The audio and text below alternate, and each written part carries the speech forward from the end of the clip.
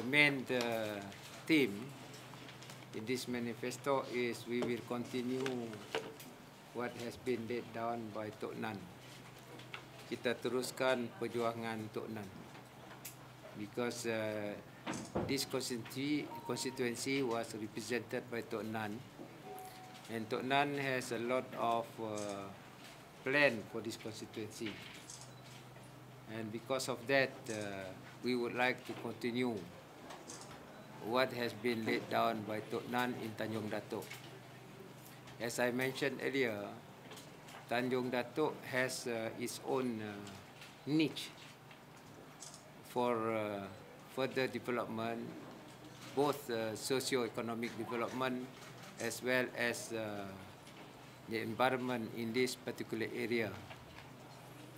Uh, our Barisan Nasional is represented by Puan Sri Dato' Ahmad Jamila and uh, we will, the whole machin- machinery of the government and also the party in Barisan Nasional will help her to continue what has been planned by Tok Nan in this constituency. Amongst them, number one, as I said, is the educational facility uh, that we have to build here. Uh, as you know, we have Centrec here. Centec. Centec, Cent- Centec, eh? Centec, the Center for Technical Excellence, a college uh, in uh, Tanjung Dato.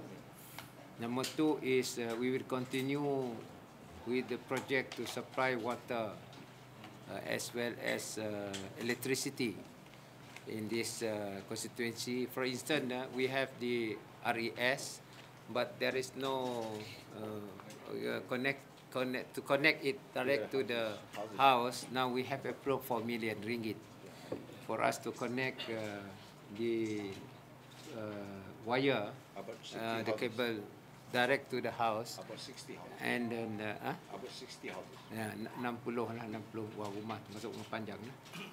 Dan uh, the other one is uh, which is important for the long term development of uh, Tanjung Datuk is the master plan. Uh, SPU, we have completed the master plan. It's the question of fine, fine tuning what is recommended in the plan and after that we will uh, implement project uh, which is based on ecotourism as well as other facilities that we will, pro- we will provide in Tanjung Datuk. And it is a sort of well-planned project uh, that we will do in Tanjung Datuk.